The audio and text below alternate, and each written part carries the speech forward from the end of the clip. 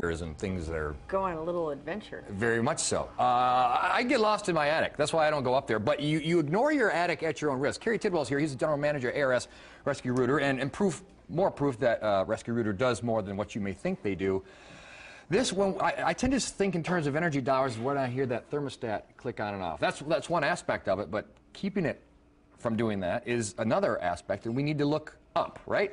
You, well, you're, you're exactly right, Tracy. And a lot of people don't think about the attic, and, and really the attic is probably one of the number one enemies of your, your cooling system. Well, if you, if. I mean, a lot of people might, I'm, like I said, I am a little bit nervous with my attic. It's big, it's dark, it's, I think there's things up there that are un, unwelcome guests that aren't paying rent and chew on things. I'm dealing with that. But I look up and I see I have about that much insulation, so I think I'm adequately insulated. But uh, is there a, is there a formula for the size of the house or the attic or? Well, there is, and actually that changed not too long ago. Last couple, three years, that changed here Uh-oh. for the state of Indiana.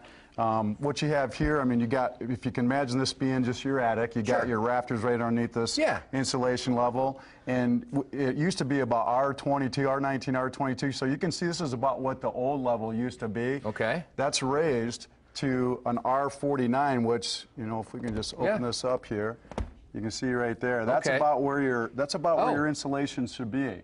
So I mean, this is this is okay, but if you really if you really want to get some energy efficient uh, efficiency out of your system and help protect your your uh, your your heating and cooling costs, you really want to get some more insulation in. Okay. there. Is there how, how can we prove that that's that, that it's that it's enough? Just it's not just a matter of inches, or it's the, depending on the type of insulation you have to put in there. Well, it, well, some of it's insulation, how much it settles over time. Mm-hmm. But at ARS Rescue Rooter, we'd come, we would inspect your attic to see where you're at, what level you're at, and then we would go up there. We actually take this out, and we would show you right there at that time, and then our gentleman would go out there and they would blow the insulation into the attic to get Mm-hmm. you up to this level, um, to the R49 level. And what, what do we have here? What do we have there in the back? Well, ARS Rescue Rooter is a, takes a three-pronged approach to your attic. Okay. Okay, insulation's one, which is you can never go wrong with the more Sure. insulation, the better.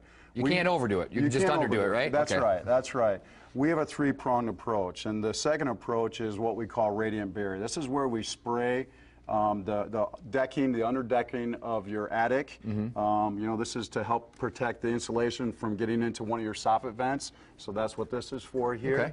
And then this this acts like a sunscreen, Tracy, for Oh, your right. Home. Mm-hmm. Okay. And for people don't know the soffit vent, you do need some circulation in there. You can't. I've, I've known people like, oh, I had these gaps and I filled them in. No, that's that soffit is there for a reason, right? It's got to let your attic breathe. It is. It is because lots of times when people's attics get really, really hot, Tracy, what they do is instead of doing this three-prong approach, they'll just throw in an attic fan. Okay. Okay.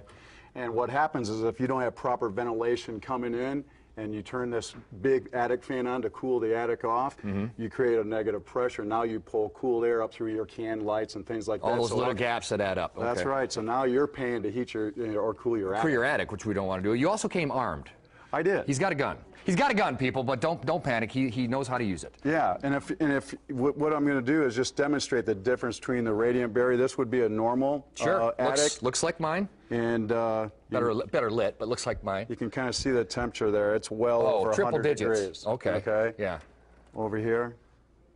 70. Oh, that's comfortable. See, I, whenever I have to go up in the attic, I get out of there quickly, especially this time of year, because I think I'm going to dehydrate. It could be potentially dangerous. That's comfortable. That's that's a living condition. Yeah, That's our goal is our goal, Tracy, is to try to get the attic about the same temperature as outside because mm-hmm. then you're not that when that hot air gets in there, it wants to go where it's cool, mm-hmm. okay, and it wants to force its way into your home, and that's what will hike up your energy bill. So having this three-pronged approach done um, can really, really help and save on your energy bills. Now, somebody like myself, I might want to go ahead and go up into my attic and look and do some measuring, and I could, then I could call you with those numbers. Or if, if, if you're a homeowner that doesn't even want to deal with it, you guys will do all the dirty work in the climate and stuff, right? We will. We will. We get up there. That saves you from having to get on, on, on ladders or you know attic steps or things of that nature. I mean, our guys are very highly trained on how to go up there and do all this, and they can take care of it all for you. And, and we're talking significant savings over the course of the lifetime of your home. You, you, you, absolutely. I mean, there's lots of different quotes out there, but you know, it's it's uh, it, you can you 30. You know, some people talk about 30, 40 percent saving on your operating costs. I Oh, mean, that's obviously, significant. obviously Yeah, sure, it's gonna- each year is different based on you know. Obviously, last year was much warmer than this year, but your true operating costs